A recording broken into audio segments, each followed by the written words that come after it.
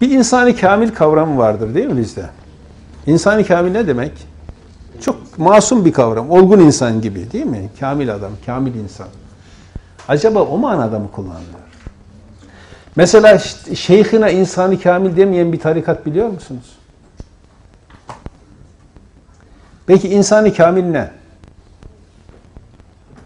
Diyor ki insani kamil Muhammed'dir. Muhammed Aleyhisselam yani. Sallallahu aleyhi ve sellem. Tamam bu çok güzel bir şey gibi gözüküyor. Ama onun tarihi şahsiyeti değil. Yani şu tarihte doğup peygamber olup vefat etmiş olan Muhammed değil haşa. Adem balçık halindeyken peygamber olan Muhammed. Ama bundan haşa Cenab-ı Hakk'ın haberi yok.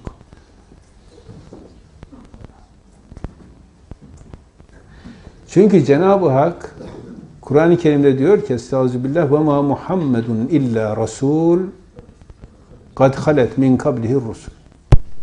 Muhammed sadece Allah'ın Resulüdür. Başka bir şey değil. Yani elçisidir. Allah'ın emirlerini insanlara tebliğ eden kişidir. Ondan önce de rasuller gelmiştir. Ondan sonra ne diyor Cenab-ı Hak? Estağfirullah ma kana Muhammedun Eba ahadin min ricalikum velakin Resulallah ve hatemen nebiyyin. Muhammed sizden erkeklerinizden herhangi birisinin babası değildir ama Allah'ın Resulüdür ve nebilerin sonuncusudur. Bak Allah sonuncu olduğunu söylüyor. Ondan önce çok peygamberler geldiğini söylüyor ama bunda ne diyorlar? Adem balçık halindeyken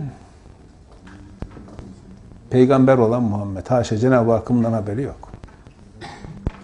Yani hakikati Muhammediyedir. Şimdi hakikati Muhammediye'nin ne olduğunu biraz önce okuduk ya. İnsanı kamil hakikati Muhammediyedir diyor.